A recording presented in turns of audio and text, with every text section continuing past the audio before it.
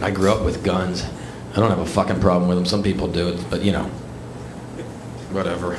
It's not like the guns are the problem. They're inanimate objects. You know, they can't be fucking bad. It's not the guns, it's the people that are shot by guns that are bad. they suck, and that's why they get shot. And if they really suck, they get shot in the face by the vice president with birdshot. you like that, motherfucker? You want to waive that retainer fee, buddy?